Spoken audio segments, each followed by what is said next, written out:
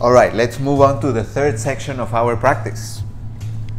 This is breathing and movement. We are going to use the same breathing technique we just used. It's called Ujjayi breath.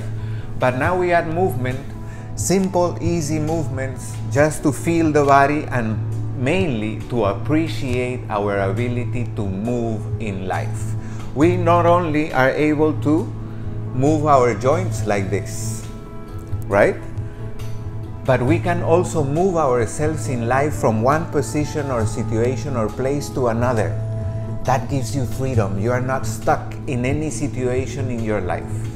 May, perhaps you have heard me say this before, but I say things here that we are not used to used to hearing throughout the day. So we remember that the brain learns in two, only two ways, by repetition or by impact. When something makes a deep impact, we can learn it right away with only one repetition. But when the impact is not so deep, then we need a lot of repetition to learn something. So that's why I repeat a lot of what I say, not because I don't have anything else to share, but to instill and install inside the concepts that we are seeking through this practice along our day. And I hope that brings you blessings. Let's bring the palms together in front of the heart and begin to exhale through your nose. Blow all the air out. Then inhaling, bring the arms up. Stretch your spine, lengthen the arms, look up.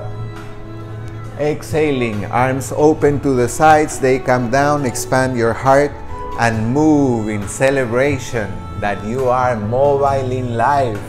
You have the freedom to move yourself from one place, the place you are today, to the place where you want to be tomorrow. Beautifully, softly, sweetly, creatively. And when you connect with that aspect of yourself, you are indeed being the creator of your life, of yourself. Next exhale, lean to the side. Look up and twist your spine. Roll the shoulder back. Inhale, come up.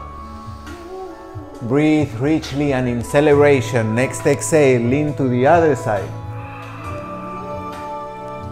Inhale up. Exhale forward. Release tension from the hips. Notice inside whether you are fighting with yourself when you do the movements. And if so, release the fighting and connect with yourself and with the postures in sweetness. We develop a keen tendency to fight ourselves. How futile is that, huh? we waste so much energy doing that. Let's instead do this practice to find harmony within ourselves. Next exhale, hands down behind your back. I will turn so that you can see, but you don't have to do it. Hands behind the back, fingers point forward. Don't point your fingers back like that. Point them forward. Feet flat. Inhale, hips up, head back. Open your heart. Exhale, slowly come down. We are prioritizing the breath and having the body follow with the movement. Remember that throughout the day is the other way around. We prioritize what we're doing and then we restrict the breathing. And I already explained what restricting the breath does in our system. So let's break that automatic approach to life, to approach life from contraction and stress. And let's instead meet life fully opened, connected to the love in our hearts, the luminous presence of the soul. Turn over to your knees and hands. Hands are shoulder width, knees are hip width. Inhaling, arch your back and look towards your belly button. Exhaling, belly button down, look forward and up. Curve your spine. Inhale, arch. Soft and simple movements, don't complicate yourself. Begin to practice noticing your mind thinking. The mind has this tendency to label and judge, criticize everything that it sees. But when we discipline the mind and we allow ourselves to see whatever we see without putting a label on it, we are allowing ourselves to listen to what that present has to tell us. Shift your left hand to the center and with the next inhale, right arm up. The whole of life is alive. The whole of life is available for us to interact with. Next exhale, go to the other side. As we allow through this practice to recognize our own divinity, we open ourselves up to recognize, see, and interact with the divinity in everything that exists. Then the whole of life turns holy. That is indeed Tantra Yoga. Many people refer to Tantra Yoga as a sex practice. Sex is a very small part of the practice indeed.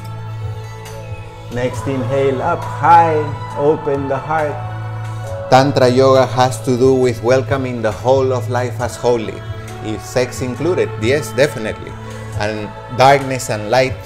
Next exhale, child's pose, forehead down, rest your ribs between your thighs.